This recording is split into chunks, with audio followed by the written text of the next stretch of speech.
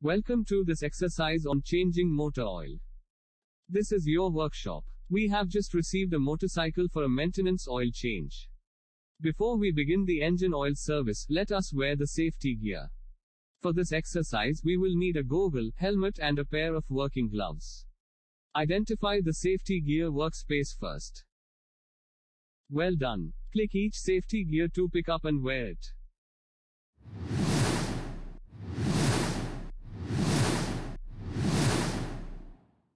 First of all, let's put the motorcycle on the race platform. We need a hard even surface to measure the oil level well. Click the motorcycle to park it on the platform. Park the motorcycle using the center stand. This is important in order to get a proper reading of the oil level. Click the highlighted center stand. Great, you have parked the bike. Why should you park the two-wheeler on the center stand before changing oil? Correct answer. Elevate the workbench to a suitable height for ease while working. The next thing to do is to collect all the tools needed for this exercise. Please move closer to the shelf by selecting it. Select the tool trays. Next select the oil tray. Which oil needs to be selected? Wrong answer. Correct answer. Select the oil. Let's now select the funnel. Select the spanner. Select the screwdriver. Finally select the cleaning cloth.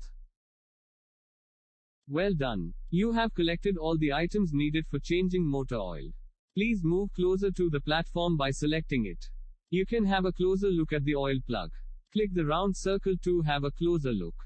Well done. Now locate the drain plug on the lowest part of the engine. Clean the area around the drain plug. Use a screwdriver to scrape off the dirt or mud around it. Click the screwdriver. Grab the spanner and open the drain plug. Click the spanner. Now wait till all of the oil has been properly drained. Warm oil drains faster due to higher viscosity. Be careful not to burn your hands when hot oil drains out. Why should you not touch the used oil that is being drained out in correct answer? Now that the oil has completely drained out, we can screw the plug back into the drain hole. Finish off by tightening the plug. Click the drain plug. Good job. You have tightened the oil plug properly. We will now replenish the engine oil. For this unscrew the fill cap by hand or with pliers. Click the fill cap. Insert the funnel into the fill hole. Remove the cap of the oil bottle and click the bottle. Pour the manufacturer specified oil. If the specified amount is not known, start with 0.8 liter. Click the bottle to stop pouring. And remove the funnel.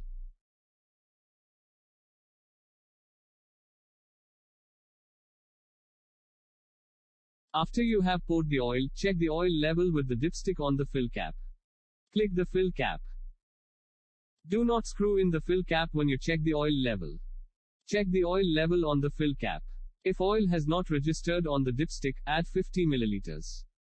Insert the funnel into the fill hole. Click the fill cap. Check if oil level is between the low and high marks. Click the fill cap to insert it. Oil is between the low and high marks. Well done. You have poured the right quantity of oil. Why is it necessary to start the engine for 5 minutes and then wait for a minute to check the oil? Correct answer. Now to start the motorcycle, turn on the engine. Click the highlighted part.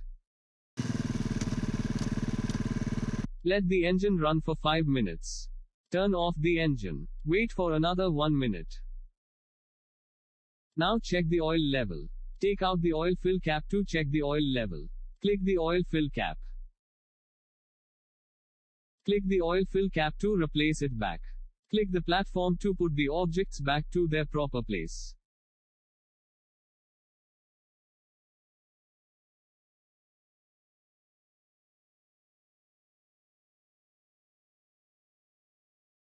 Lower the motorcycle.